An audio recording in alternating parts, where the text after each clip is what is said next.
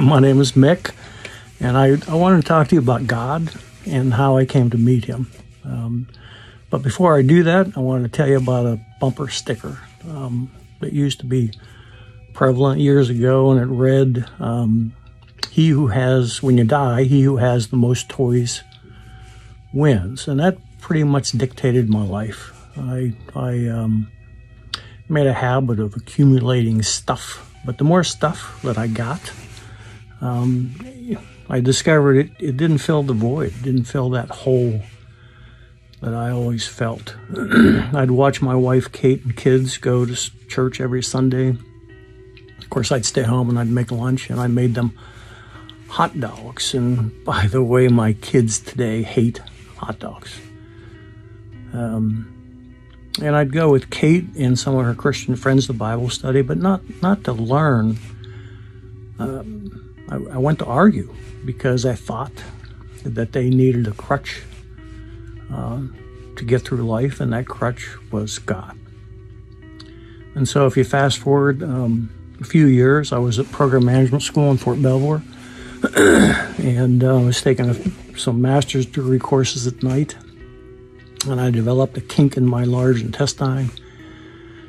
And it was pretty painful. Um, and so I went to the hospital and they wanted to operate. And I told them, I said, look, I, I don't have time uh, for surgery at this point. And so just wheel me out in the hallway and hopefully this thing will unkink itself and go back to what I was doing, which was really a dumb idea. Um, the, the, it burst. And so peritonitis, uh, which is poison um, spread throughout my body. And so they wheeled me into surgery. My heart and lungs were failing. Um, and I obviously survived that. The surgeon came afterwards and talked with me, and he said, Look, um, I removed part of your bowel. I, I wiped everything down, all your organs down, and I'm going to fill you full of antibiotics, uh, but I won't guarantee that you'll survive the night. And so um, I got to see Kate and my kids for what potentially was the last time. And I, I couldn't sleep that night for obvious reasons. Um, and I lay there thinking, so what's going to happen if I die um, at this point? I mean, I got all this stuff.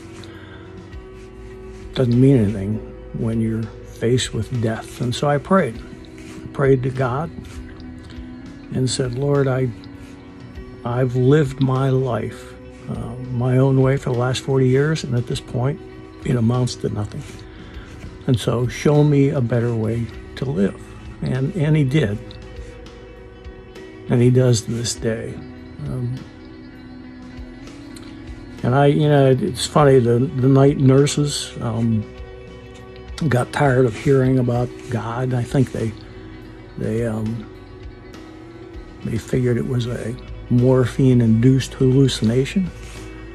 But when I made that prayer to God, I never felt such a peace and calmness uh, that came over me and, and a happiness um, of knowing God as my personal Lord and Savior. And so the next morning, I mean, I was just, I became a jabbermouth. I'm a man of few words normally, but I just wanted to talk about God. And so, guess who I called? Uh, I called those people that I used to argue with at Bible study. Um, and they came to pray with me. And, you know, before they got there, I was thinking about what it would be like. Like this light was going to be shining down from heaven, and you hear this booming voice of God as we were praying. Um, in reality, I had diarrhea. we, we started praying, and I never made it to the bathroom. But it didn't matter. What mattered was God was there, and we knew that. Um, even with all this stuff that was going on, um, we still knew God was there. Um, and we continued to pray. And that was probably um, one of the most heartfelt prayers um, that I ever said in my life. And so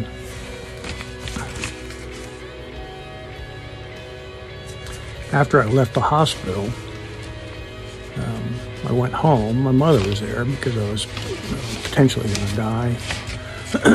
and my mom went home early because um, she said I talked about God too much. Um, picked up a Bible um, and read it from front to back. Started with Genesis and ended up with Revelation.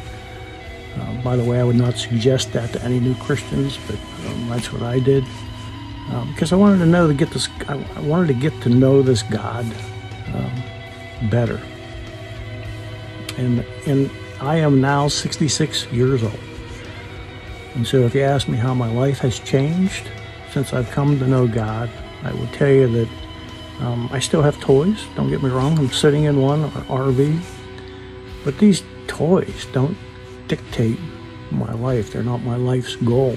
Um, I buy stuff, but, but I give it to other people, and that's what makes me happy. I have found that my spiritual gift is serving, and so doing things, renovating homes, building stuff, whatever, whatever needs done, is also what makes me happy. I made a promise to God um, in my early days of Christianity. And I said, Look, Lord, I've got all these tools, and I will now use those to help other people. And so that's how my life has changed. I, I look forward to my own Bible study now. It's a men's Bible study, it's multi church, multi generational. Uh, it's kind of a neat group. We started out as a six week um, study, and we've been meeting um, for years plus.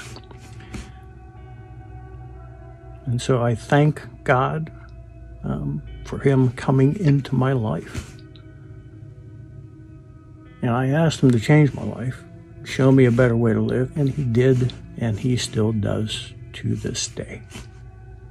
So thanks.